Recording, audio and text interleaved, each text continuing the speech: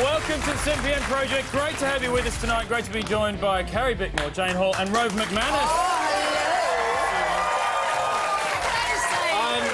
I just want to say thanks for having me on. I think this could open a few doors for me. You are looking ridiculously brown. That is racist. Carrie Bickmore, that is racist. You, you, you have you've been overseas in Africa. I have been tanned. So this I- is real. It's all real, baby. I've So, uh, actually had to powder you down a bit. You were so Yep. brown. I So was. from that, I learned that there are a lot of solariums in Africa. uh, we're going to talk more about that later, and also 10 years of television, 10 years of the, the Road Show, which is exciting. When people hear that, they seem to be shocked for some reason. Like there's a, a fine line between good on you and wow, it feels like longer.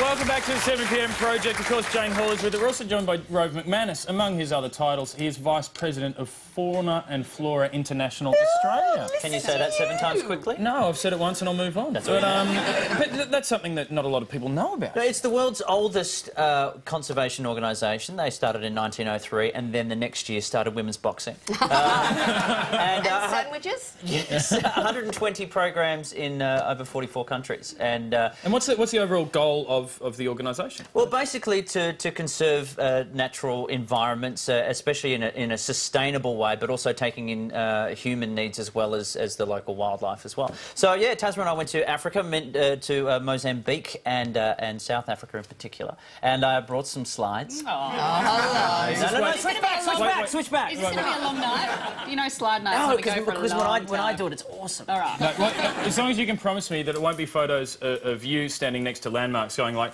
Eiffel Tower. This is me. Big well, I'll start up. Well, the, the first one. This is the sign that welcomed us when we arrived at uh, this place called the Niassa Reserve. This is in a. T- they actually downloaded photos of us off the internet. and and the one of Tasma was a little bit. Oh, what other sites were we googling, uh, gentlemen? But this place, this is a reserve that a, a small handful of people are looking after with very little money, and it's forty-two thousand square kilometres, which is the size of Denmark. So they have a big problem with poachers sneaking in and, and, Yeah. and killing animals, but uh, but uh, they're doing very well under the circumstances. Uh, we saw, uh, as I mentioned, it's also taking into account humans as well, and these are some uh, of the kids. I just thought uh, it's always cool to sort of show some of the local Oh, people they're as beautiful. well. Look at White Boy on the side. there. Yeah, and uh, we beat Brad and Angelina to two of them at the auction, which is great. Um, this is just a nice photo because uh, we stopped for uh, uh, sunset and uh, almost uh, literally ran into two elephants, which was really cool. Look at them, aren't they gorgeous? And they came up near our car, and then we realised we were eating peanuts. and I just thought, that's so cliche. It is, isn't it? Did you just- give them a peanut? feel at like the- throwing at a mouse and seeing if they'd run away going, ah!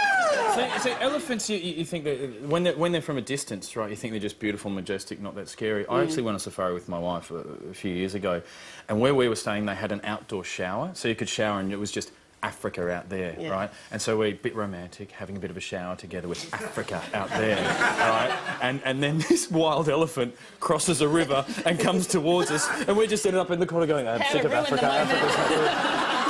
It's like, taking, it's like taking your partner to a scary movie, though. They cuddle up a little bit tighter at night. It's really nice. Let me look after you. I lost, I lost circulation in lots of places.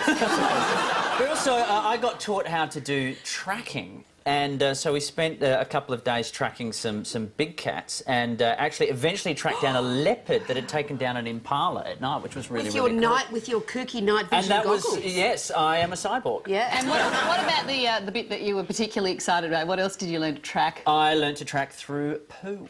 I could tell you within three days from looking at animal fecal matter uh, how, how recently they've been there. Proud moment. Yep. Yeah. It's too late, she'd already married me by that stage. How do you bring that back into normal life too? Well, You know, then, look, speaking of, you- there were these signs I saw at one of the local toilets. Uh, we- we stopped off at a, at a, a more... Now, I wasn't sure of the reason. Like, do they not want the baboons to use the toilet? Is that... Are they describing the local men? I, they, they, they have terrible habits. But the, the last thing we did was on the way back out through South Africa, we, we, uh, we, we had a look at these, which is great white sharks. We, we jumped in the ocean and had a look at the great white sharks, which is really cool, except um, it was really rough and everyone was getting seasick. Yeah. So I was in a cage with this other woman who was throwing up in the water. oh, no. And then they said, and then she's come up and she's lifted her goggles up above her head, and they said, no, no, no, they'll, they'll fall off, and there's sharks around. So pull it down under your neck. She threw up into the goggles.